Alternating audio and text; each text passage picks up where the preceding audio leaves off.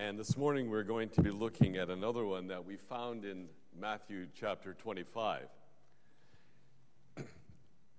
As we look at life, there is a very common statement that has been made, or we have been the recipient of it. And the statement is simply three words Are you ready? Well, sometimes you're going to go to an event and you find family members kind of straggling behind and they're not quite there yet. And so you have said to them, Are you ready? Some of you will be saying that in the next couple weeks a little more frequently as your children start back to school. And there will be a yellow uh, bus coming down the street, and you're saying to the kids, Are you ready yet? Because the bus is coming, and you're going to be late if you don't get there. One day, I was reading one of these advice columns in the newspaper, and I find this rather hard to believe, but I'm sure it's gospel because it was in the Sun. But this guy was asking advice because um, his wife was rather slow in getting ready. In fact, he said that every time she went out, she needed an hour and a half, that's 90 minutes, to apply her makeup, get her hair ready, and have the proper attire so that everything matched. That was for every single time, he said, that she left the house. And he was rather weary of asking her are you ready? And so he wanted to know what he should do. In Matthew 25, we have this amazing parable that Jesus told about 10 women. They're called the wise and the foolish bridesmaids. And it really is a parable about being prepared and being ready for the coming of the Lord. Now, that is a topic that is often not discussed today. It seems to have been forgotten by many, and we don't give it a great amount of consideration. When we look at this theme of Are You Ready? We look at the very first coming of Jesus, and the world was not really ready for when he was going to come the first time. Yet, if you look at the Old Testament, the coming of the Messiah was something that was clearly predicted and prophesied for hundreds and hundreds of years. A lot of data was known about the coming of the Messiah, that he would be born in Bethlehem, that he would be of the lineage of David, the greatest king of Israel. It was also prophesied that he would minister in the region of Galilee and that he would do great and wonderful things for the people. And so, the world, though it knew about the coming, was not ready for the very first time. And so, when Jesus was born in Bethlehem, there was a group of magi or wise men who came from the east, probably from Persia in modern day. And they had seen this heavenly sign, and they followed this sign for almost two years. And they came to the place and they went to the religious leaders and they said, We have been following this sign. It seems to indicate the birth of someone really important or significant. Is this the Messiah? And they said, Oh, yeah, these are the signs. And they got the scriptures and said, And this is where he will be residing, and this is what he is going to do. And though they knew all about this, and the sign was right there on the doorstep, they never went and did anything about it. They never went to worship the Christ child. And these seekers from a distant land were the ones who actually went and found the Christ child. We also discover that when Jesus began to minister in his three years of ministry, that he came to his own hometown. And it said that his own people would not even receive him. Some said, oh, this is just the son of Mary. This is the carpenter who has been working in the village. And we are told that Jesus could do no great work in his own hometown because of the lack of faith in the people. They were not willing to receive him. And so the question that we have to ask is this as we look at this parable this morning Are you ready? Do you live in any sense of expectation that the Lord Jesus is going to come again to rule and to reign forever and forever? Or is it just a theological concept that you might have, but it does not impact or affect how we live day to day? So we need to understand as we begin looking at this parable this morning that there is a promise. And the promise that is given to us is that Jesus will come again. So, Jesus, we know, lived historically on the earth 33 years. Three years of his life was spent in ministry. He was arrested, he was convicted, he was crucified, and then three days later, he rose bodily from the grave, and he remained on earth for a period of 40 years, and then he was caught up into heaven. And this is what we read. As Jesus ascended to heaven, two angels said, Why do you stand there looking into the sky? He's speaking to the people gathered around. Now, notice this this same Jesus who has been taken from you will come back in the same way you have seen him go into heaven. And that was the promise that was given to us 2,000 years ago. And we are still waiting for his coming again. And the church has lived with that hope, that expectation, and that certainty that in God's timing, this is going to take place.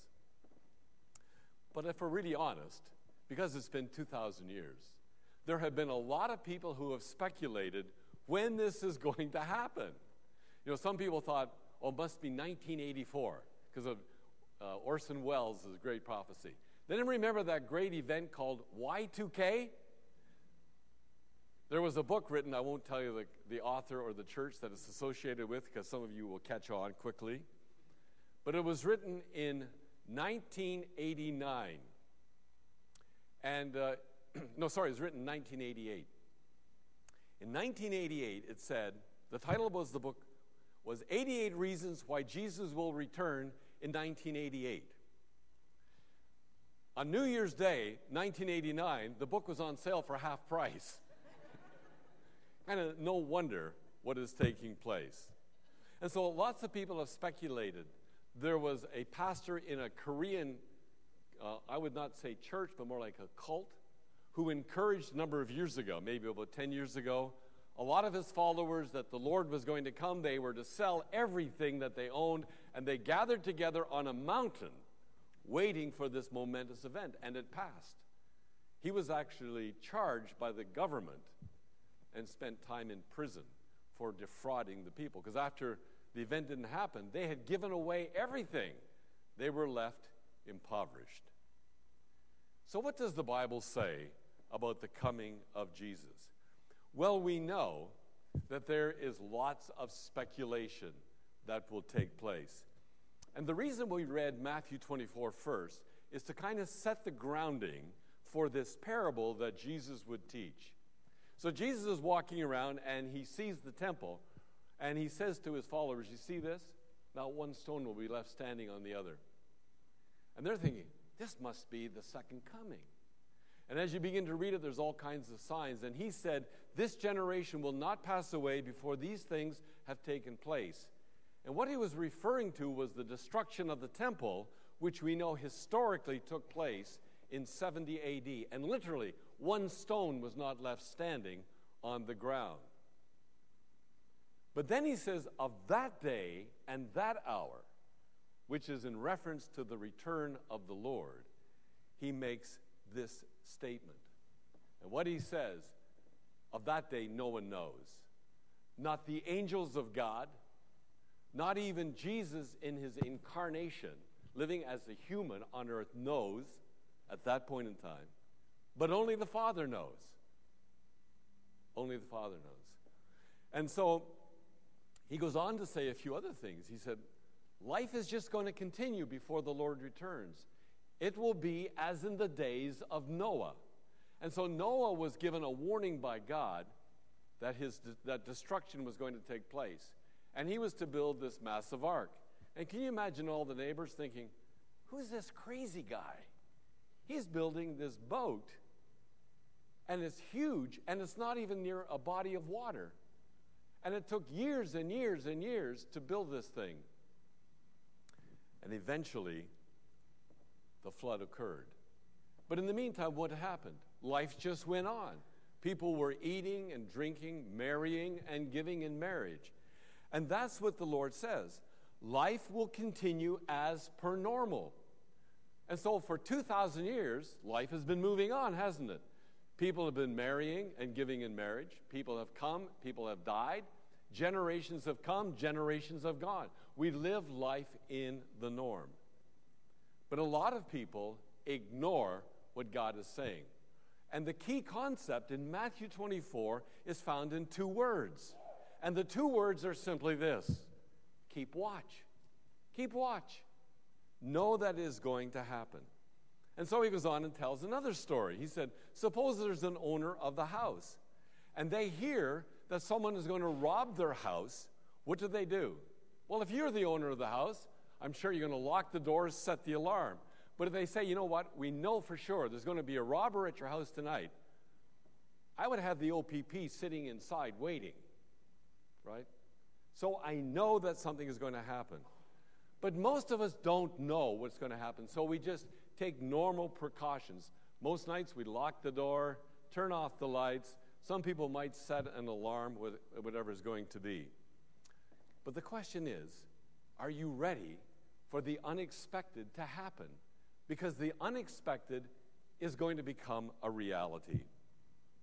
And so Jesus says, that's why you need to be ready. You need to be ready that I can come at any time. And so he tells this amazing little parable. And this parable is about a wedding. Now, we all love weddings. They're fun to go to, they have great celebrations and all kinds of events. And a Middle Eastern wedding in the time of Jesus was an event of great joy and of great celebration. But we need to understand most of our weddings last a day. It takes a year and a half to plan it, but it lasts for a day. In a Middle Eastern wedding, the festivities often would last for an entire week. And so there would be parties and celebrations and there was pageantry and there was drama, which was all part of their tradition. And in this story, the bride has 10 friends that she has invited to be part of her wedding procession. They are the bridesmaids. And part of their responsibility is to follow this great drama and tradition of accompanying the bride and the bridegroom to their new home.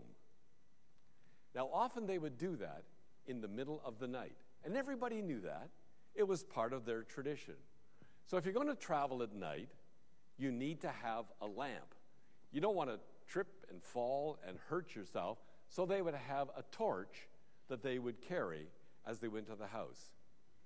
But here's the, uh, the secret the timing of the event was never known.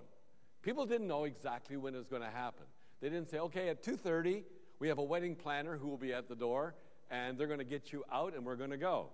It never happened that way. It was always to be a surprise. And so the bridesmaids knew that, and they were to be waiting expectantly that sometime during this week, this event was going to unfold. And it was the joy of the groom to try to catch them sleeping. That was part of the drama that was going to unfold. And so when the groom decided, okay, it's time for this part of the festivities, a runner would be sent out and announce that the groom was coming and everyone was getting ready. Now, at the conclusion of this story, we read that all ten were sleeping because it's the middle of the night. Five of them were not prepared because they didn't have enough oil, it had run out. They had not anticipated that it would be such a long wait before the groom actually came. When you think about this, it's really tragic to miss an event that you have waited for so long. Now, of these 10 women, five of them had brought extra oil, and the other five were not able to borrow from them because there would not be enough to go around. So the five who have not brought the extra oil are told, Well, go and purchase some more. Well, where do you buy oil in the middle of the night? They're going to have to scramble and find who can give them extra oil. And so they have to go and do that. Then, when they return, they find that the door of the house where the celebration is going on is closed shut. And according to the custom, once the door was shut, it was never to be opened again. Here's the bottom line they were too late. Too late. Now, in this parable, Jesus identifies himself as the bridegroom. Israel is the bride. Followers of Jesus today are the spiritual children of God. We are the spiritual Israel of God. And Israel was not prepared for the first event.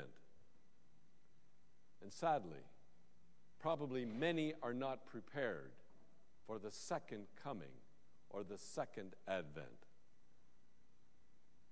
The question Jesus asks today is this Are my followers, are my disciples alert and ready for my coming? And so, this is the question that all of us have to think about this morning. Are you ready? Are you living in anticipation that the Lord can come at any time? Do you live each day in that state of readiness and expectation? Are you prepared at any moment to stand before God in all of His glory? Whether it is at the time of the second coming, if we are alive when the Lord returns, or at the moment of our death when none of us know will, will occur, are you prepared to stand before the face of God? So the question is this How can I be ready? Well, to be ready, let me suggest the first thing is this we need to have a relationship with the bridegroom. As you know the bridegroom, you become aware of his presence in your life, you become aware of his interventions in your life. And the five foolish women ought to have utilized their previous experiences as well as their knowledge so that they could have been prepared for the coming of the bridegroom. They probably needed to know we don't know when he's going to come. We will need to have extra oil. We just have to be prepared. And so, as we think of the coming of the Lord, it's been 2,000 years since that declaration was made. As you have seen Jesus go, so he will come again. And we're thinking, really? This is so long. When is it going to happen? We need to understand it will happen in God's perfect timing. In the first coming, it was prophesied for centuries and centuries that the Messiah would come. Listen to what Peter says in his epistle. He says these words Where is his coming? But do not forget one thing. With the Lord, a day is like a thousand years, and a thousand years is like a day. But the Lord is not slow in keeping his promise. What's his promise? He will come again. He is patient with you, not wanting anyone to perish, but everyone to come to repentance. And so, in God's perfect timing, the coming will take place. You see, in this little parable, only knowledge of the bridegroom prepared these five young women for the coming of the bridegroom. And as we live each day in a living relationship with Jesus, we will be prepared for his final coming. Whether it is at the end of the age or if it's in a moment of time when he calls you home through the door of death. But the second thing, apart from having a relationship with the bridegroom, is we need to understand this. You can't borrow preparation from someone else. We have to be prepared ourselves. So there was this announcement the groom is coming. And the five who didn't take enough oil, they tried to borrow from the other five who were with them. But there was not enough. And we discover that this was the response that they said, Give us some oil. And the other women said, No, because there will not be enough for all of us. Now, when you read that, you might think, oh, those five were just totally insensitive. They should have shared some of their oil. It wouldn't have been enough, so all ten would never have gotten into the wedding party. Though it seems to be insensitive, it is a reality around the crisis of life. I was thinking about this, and I heard a statement years ago, which I've thought about many, many times, and it says this It's too late to get prepared in the midst of a crisis. You know, the Americans on the uh, Texas just had an incredible storm going through, and there was all kinds of preparation for people evacuating. I read they evacuated thousands of prisoners, even from the jails and uh, penitentiaries, because they were in the line of this terrible storm, and they remove them to safety. It's a little bit late in the midst of the storm to think, well, what should we do? Years ago in New York City, some of you will remember this, there was a massive blackout of the entire city. It was a very hot summer, not quite like this summer, but maybe like last summer, when we had all those days of plus 95 Fahrenheit. Air conditionings were running 24 7, uh, and a lot of power was being consumed. And then they had this incredible thunderstorm, and it knocked out the main power lines of the city. The real problem for these New Yorkers was that they could not borrow enough power from other places, including Canada. And Time magazine wrote a front page story, and they entitled it, Why the Lights Went Out. In essence, they were not prepared for the reality that could happen. Some of you are going to be going back to school in a couple of weeks. And following that, there will be another period during the semester where they call examination time. Let me tell you this it's going to come. Be forewarned. But here's the other kicker you can't borrow somebody else's preparation. You can't borrow someone else's preparation. I remember when I was in high school, we had to write these departmental exams set by the provincial government. And some of the exams were really, really tough. And every student in the entire province of Ontario had to take the exam at the exact same time. And during that exam period, they would bring in a folder and it was sealed. And a student and a teacher had to witness that the seal had not been broken and the papers were taken out and handed to the students. And you wrote them and you had a time frame, had to be handed in, sealed up again, and sent away. I remember one of my high school friends, probably not the brightest light in the chandelier, um, knew that he was going to have a tough time. But he had, it was before we did it on computers, he had a chest full of pens. And there were those advertising pens that you could take the advertising out, and he would slip in there little pieces of paper with cheat notes because he wasn't prepared. But he put a couple of dummy pens in there because he was smart. And sure enough, and I knew what he was doing because he would every so often he'd take out the pen, take it apart, and pull it, and he'd have the answer and write it down. The teacher came by, took a pen, looked at it, and decided to unscrew it. And sure enough, it was one of the fake pens he put in there. There was nothing wrong with it. He had the real good ones in other pockets, and he left a couple of these out on the desk. You can't borrow someone else's preparation because if you do, you're probably going to get into serious trouble. And so, the same is true with us in our relationship with God. You can't borrow someone else's relationship with God if you are going to be prepared to stand before the face of God. And the third thing is this when the opportunity is past, it's too late. It's too late.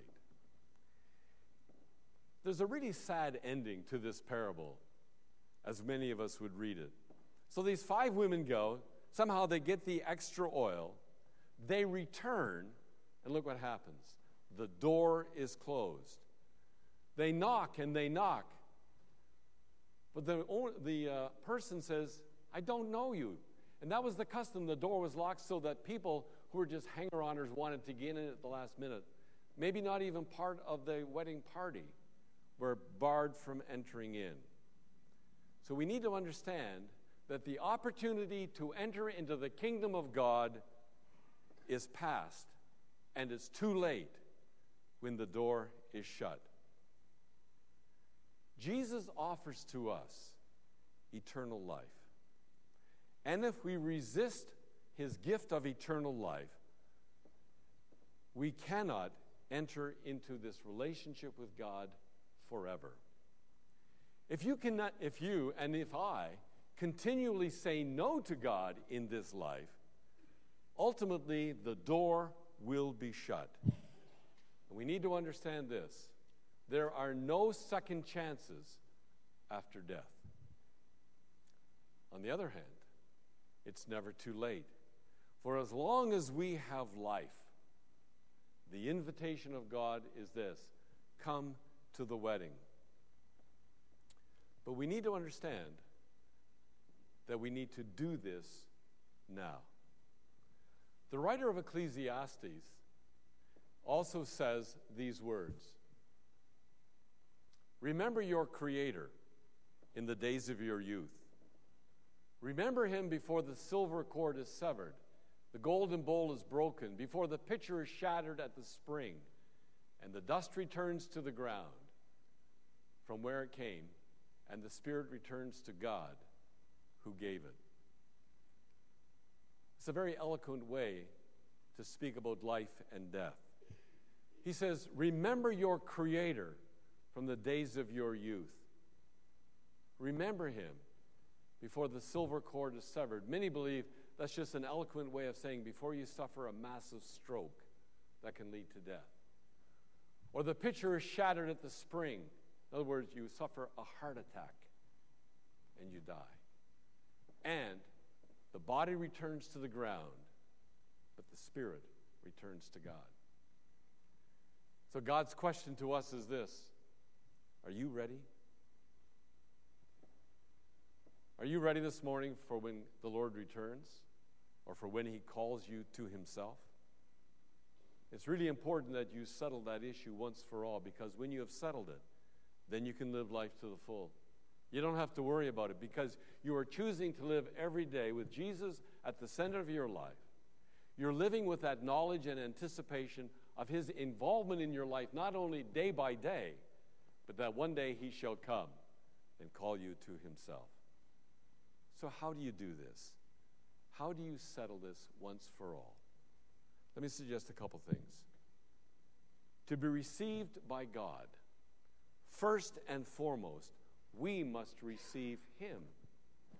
So we invite Him to come to be in our life, to be the center of our life, that we surrender our life unto Him, to ask Him to be the forgiver of all of our past, and the one who gives us life that is abundant. And then, doing that, we make a choice day after day after day that we want to seek to live in the presence of God. God, make me sensitive and aware of your presence. There's a great prayer that the Apostle Paul encourages us to do that we pray that we would be filled with the Spirit of God over and over again, day after day. And when you do that, when you're living in the presence of God day by day, then you will know that you are ready. You are ready for the coming of the bridegroom because you're living in his presence right now. And when he comes, when no one knows the day nor the hour, you will be ready and you will celebrate at the wedding feast. Are you ready? If you're not, I would invite you this morning just to pray this prayer Lord, here is my life. Here it is, just as I am.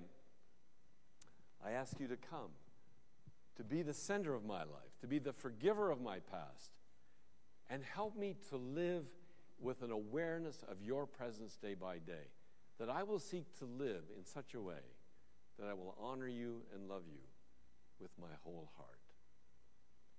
Let's pray together.